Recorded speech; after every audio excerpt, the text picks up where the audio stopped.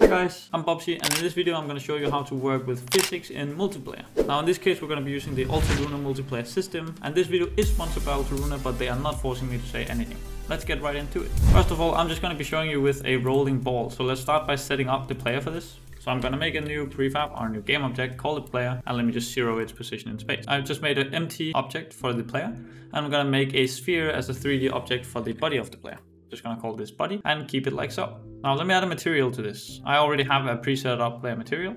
And then on with the player, we want a few things. First of all, we want a rigid body because, well, we're working with physics. And next thing that we want is the rigid body synchronizable, which is part of the Alteruna system.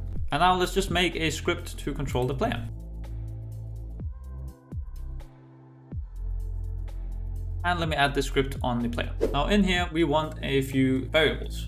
As always, when you make a physics controller, or any controller really, let me make a header and say player settings, just so we can organize it nicely. And then I use serialize field, private float, and then one for the move speed, which we can just set to, for example, five, uh, five float. And then I want one for the jump force as well. Now, typically when you're working with a rigid body controller, you would want to do private rigid body and then you can call it whatever. I just call mine underscore rigid. But in this sense actually you want to get the rigid body synchronizable from the alteruna setup. This requires you to be using alteruna up in the namespace. And then we also want the the alteruna.avatar i'm just going to call that underscore avatar. Well i forgot to add this to our player so let's go back and do that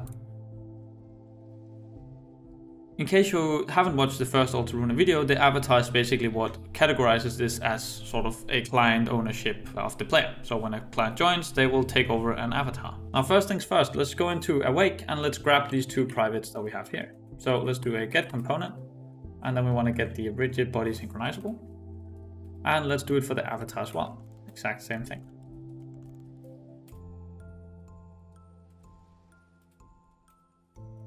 Now, when we work with physics, we want to go into the fixed update functionality and actually add the movement vectors here. So first things first is we want to check if the avatar dot is me. This means are we the owners of this avatar? And if we are not, we want to return. This is very important that you have this little exclamation mark in front.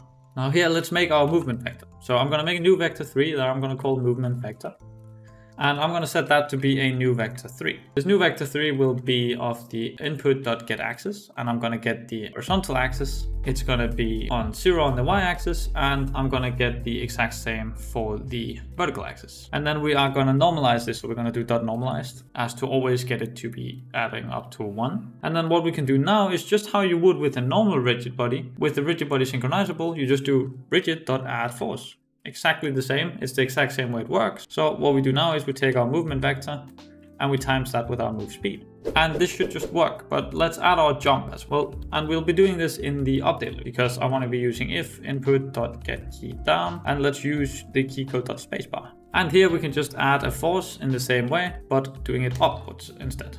So I can do add force dot jump force times the vector 3 dot up and we can do it with the force mode of impulse. And of course just like up here we need to make sure it's only ourselves that can actually add this force. And this is basically it for all the network synchronizing so let's go test this out. But before we go further let's quickly make this into a prefab and then go and delete it from here. Go to our network manager and add the player as the player prefab to spawn. Let's start it up start a room and as you can see we have our ball here. I can control it and I can jump this works just fine. Now let me go test it in multiplayer.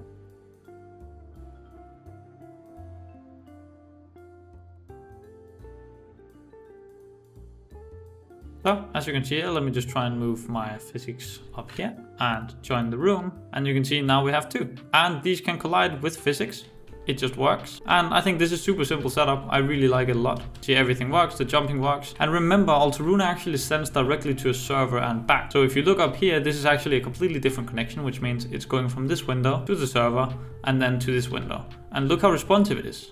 I'm very impressed with how responsive it is. And of course, there's a bunch of settings that you can play around with in the physics part. So if you go onto the player, you can see the rigid body synchronizable. First of all, there's all the bucket behaviors, which has a lot of detail to it. But also you can just choose how often it syncs and how often it full syncs and well, whether to send data, obviously. And I think this is just super impressive. Such a nice system. I think physics in multiplayer is typically, I think that's actually really hard to work with and especially having it be responsive and fast. But Alteruna really managed to do that without needing any sort of client-side prediction or a like. I really hope that you enjoyed the video. If you did, please do leave a like, comment and subscribe. And I just really hope that you have a wonderful day.